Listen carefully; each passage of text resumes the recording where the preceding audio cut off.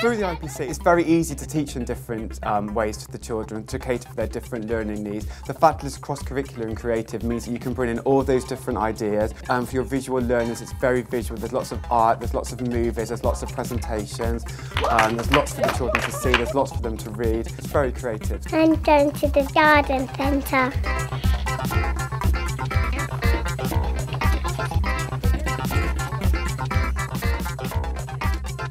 Bye.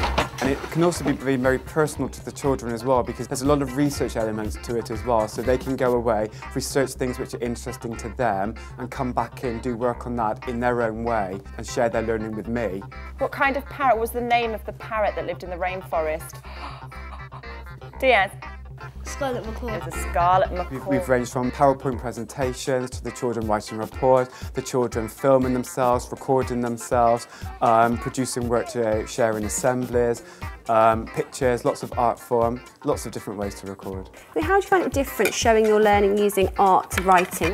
When you, you're painting it, you see what it's like, but when you're writing it, it's just telling you about it It's just telling you about it. And where, where do you have to, if, it's, if you're reading a piece of writing, where do you have to see it? in your mind. In your mind, in your imagination? The unit that we're currently doing at the moment is famous and significant people who've made a difference around the world.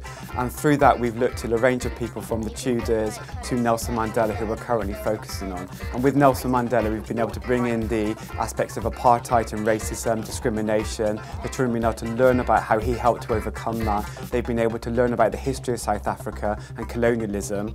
And they've also been able to relate it to their own lives, to racism today and around the world today, and also relating that to the current world with Barack Obama.